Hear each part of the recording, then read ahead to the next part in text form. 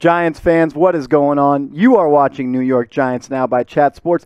I am Marshall Green, and with game day around the corner, I got a little deal for you guys. Go down in the comments and predict the score for me. And if you get it right, you got to choose the winner and the correct score.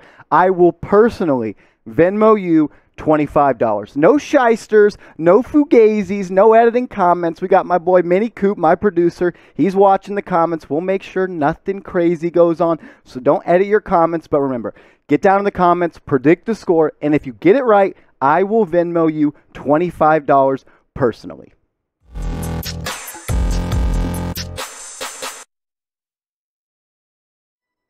Welcome into New York Giants Now by Chat Sports. I am Marshall Green, and in today's video, we're going to go go through a preview of this Sunday's game versus the Atlanta Falcons. But first, I want to touch on the unfortunate news that came out of Giants practice today surrounding Nick Gates. He obviously left last week's game Thursday night against the Washington Football with a broken tibia and fibia, and then on Friday morning he had surgery, and there was videos that went around where he was walking through the uh, through the hospital with kind of like a walker, and you thought everything was okay, and then this news came out. Nick Gates is still down in a hospital in Virginia, has some more procedures in his future. Joe Judge couldn't completely rule out that it would be a career ending injury, but it, see, he did seem hopeful that it wasn't going to be the case. We're hoping that Nick Gates can get better from this and return to being a New York Giant. There was some rumblings that this was similar to the Alex Smith injury, so everybody show Nick Gates some love, like this video, and let's hope that he can come back and be the same player that he was.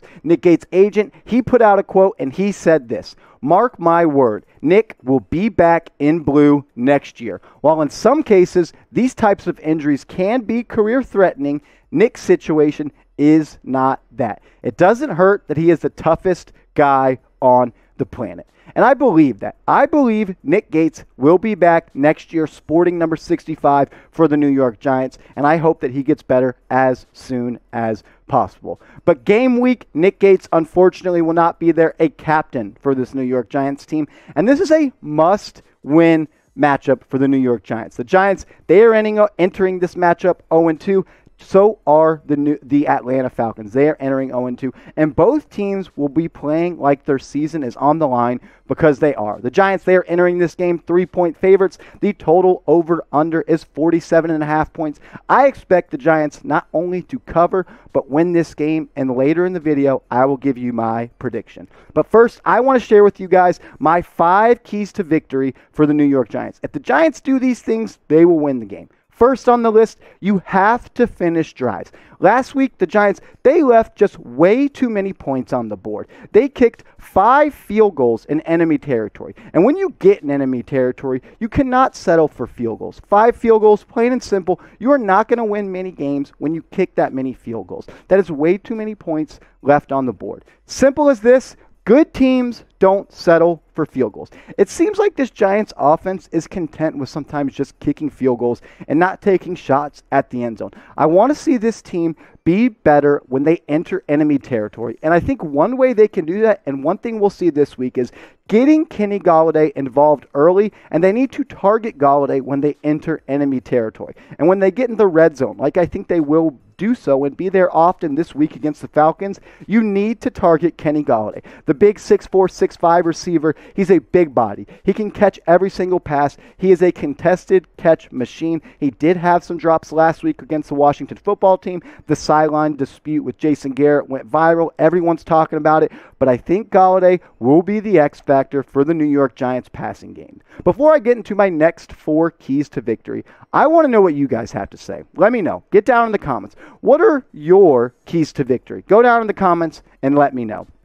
I put up a community post earlier on the page, on the YouTube page this week, and I asked Giants fans to give me their keys to victory, and these are the answers that I got. From Bill M. Defense needs to actually show up this time. No pass rush. We can't cover. Just pathetic. I think the Giants' pass rush is going to be better than it was last week against Washington when they forced just three quarterback pressures. So I expect them to be much better than they were last week. Mike Curtis, he said this score, open it up, please. Enough is enough. Play Giants football.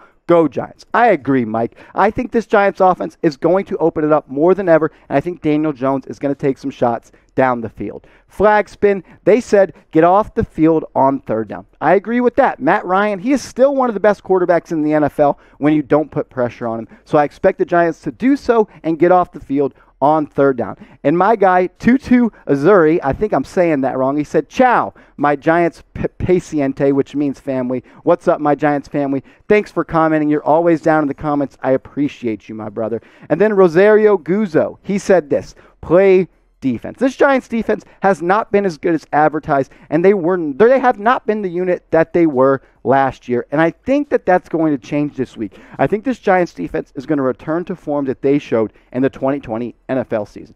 And if you guys want to talk more New York Giants football and possibly be featured on the show, because the next 10 Twitter followers that I get, I am going to shout you out on the show, just like I did with those guys that hit me up on the community post. So hit me up on Twitter. It's right there. Follow me at Marshall Green underscore and send me a DM so I know that you came from this video.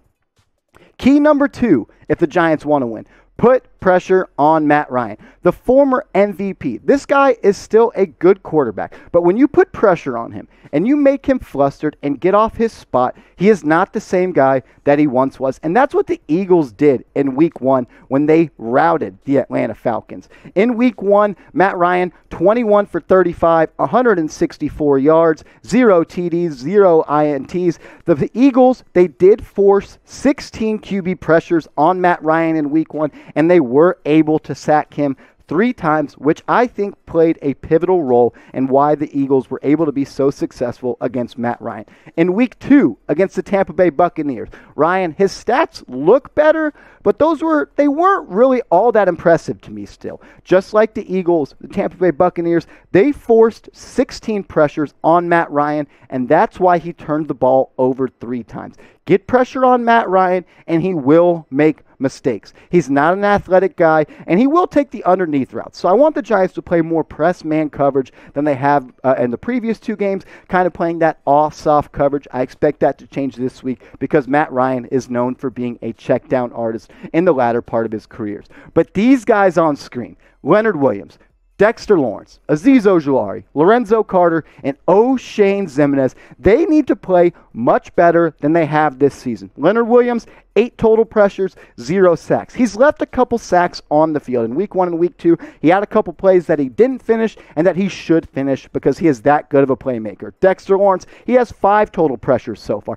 I like what he does. He can he can he can create pressure from the inside of the pocket and force quarterbacks to roll out, which Matt Ryan is not very good at. Azeez Ojulari, he's looked great through two weeks. Two weeks, two sacks, six pressures. I expect Ojulari to be a difference maker once again this week. And then Lorenzo Carter, a guy last year that played really well and was starting to come around, and then he had that heartbreaking Achilles injury. Five pressures from him on the season, zero sacks. I want Lorenzo Carter to make a game changing play this year. And then Oshane Ximines, a guy that I was questionably going to leave off this list, but I still have I still have high hopes for the X-Man. Two pressures through two games so far, zero snaps. He's played 62 snaps in two weeks, 33 snaps last week. So his his play and his ability to get on the field is improving, and I expect these five guys to be difference makers against the Falcons this week. Guys, I got a call from Dave Gettleman, and he told me if you want the Giants win to win this week against the Atlanta Falcons, you got to subscribe. We subscribe and we sub for Giants dubs. But seriously, seriously, guys, if you want to stay up to date on everything surrounding the New York Giants, from news, rumors, injury reports, game previews, game recaps, and all sorts of fun stuff that we got cooking up over here at Giants Now, go down and hit that big red button. The Giants' Thursday injury report, injury report was recently released, and these were the guys that were featured on it. Saquon Barkley, he's still he was limited so far through practice this week, just kind of a precautionary measure. He's dealing still with that knee injury. It's finally been a year for him from when he tore that uh, tore that ACL in week two of the NFL season last year. Evan Engram, a guy that I have circled for this game against the Atlanta Falcons. I think he is going to be back for his first action of the 2021 NFL season. He practiced yesterday and he practiced today, and rumblings are saying he looked really, really good. Kenny Golladay, a hip injury, something that a lot of people have not been talked about. He was listed as a limited participant despite doing very little in the open portion of practice. I expect Golladay to play. And the thing is, this isn't the same a hip injury that he was dealing with last year, so I expect him to play. Logan Ryan, he's dealing with a hammy. I expect him to play. And Kaden Smith, he is dealing with a knee. I also expect him to play. Cameron Brown, Cam Brown, the second year player, the linebacker. He has not played yet this season for the New York Giants. He's dealing with that hamstring injury. I don't expect him to play this week. Nate Ebner, the special team specialist, is dealing with a quad. I think he'll be out there. Austin Johnson, a guy the Giants need out there. He has been a disruptor all season for them. He's dealing with illness. Did practice more today than he did yesterday. I expect him to be out there. And then an interesting development around Kadarius Toney, an ankle injury, something that popped up. The media said he looked like he was he was ailing a little bit from that ankle yesterday. Pra- practiced a little bit, but was limited. I expect him to play, and I think this might be the week we could see more Kadarius Toney touches. Key number three, if the Giants want to win, get Saquon going early. That's why I'm wearing this jersey, fellas. I think this is the week for 26. This is the week he's going to bounce back after 10 off days in between week one and week two. This is the week I think he's going to explode. Let's look now at his week one performance and what he's put on through the first two weeks. Week one, 10 carries, 2.6 yards per pop, only 26 yards five, uh, a long run of five yards. He did have one catch, and he played 29 snaps, which was 48% of the snaps in week one. Whereas in week two, that number almost doubled. He had 13 carries, two catches, played in 58 snaps, in which was 84% of the offensive snaps. As you can see on screen, 13 carries, 4.3 yards a touch, 57 yards on the ground, and he did have that long run of 41 yards where he showed that he still had the juice in his legs and looked like the Saquon of old. But guys, I'm excited because I believe this is the week that Saquon Barkley will be back and will play the majority of the snaps and get the majority of the touches. There's been 10 days since the Giants last played in their last game, and I think this is the week Saquon Barkley will return and show why he was the number two overall draft pick. Key number four, you got to win the turnover battle. Matt Ryan, if you put pressure on him, he will cough the football up. He will make questionable decisions. But when you have to win the turnover battle, it's not just because of defense. Daniel Jones, he needs to protect the football. He was much better at that in week two against the Washington football team, and I expect that to continue. If DJ protects the football and plays turnover free, the Giants, they will win this football game, and I guarantee it. The Giants and Falcons, they are about the same level of talent. The Giants, I think, have more potential than the Falcons, but if DJ plays clean, they will win this game. You can book it. This defense, they need to capitalize on opportunities when they arise. Matt Ryan, he will turn it over. He threw three interceptions last week against the Tampa Bay Buccaneers, and I expect this Giants secondary to capitalize on those possessions when he makes an errant throw, when he's off his spot in the pocket and has to make a throw out of a creation type of mode. Guys, Eli Manning, Everyone loves him. If you are a New York Giants fan, you have to love him. And this weekend against the Atlanta Falcons, he is having his number 10 retired and he is entering the Ring of Honor. A huge accomplishment for number 10. So go down and like this video, guys. Show Eli some love. And uh, while you're liking this video, get down in the comment section and answer this question for me. What is your favorite Eli Manning moment of all time? For me, it's the NFC Championship game against the 49ers where he was beat up and just got hit 20 plus times and delivered time and time again. That's my favorite Eli Manning moment, but let me know, get down in the comments and type yours. Key number five if the Giants want to win this game play like your season is on the line because it is. If you start this season 0 3, you might as well start watching watching tape of college players and scouting for the NFL draft. It is tough if you go 0 3 and make the playoffs. Only one team since 2009, the 2018 Texans, have gone 0 3 and made the playoffs.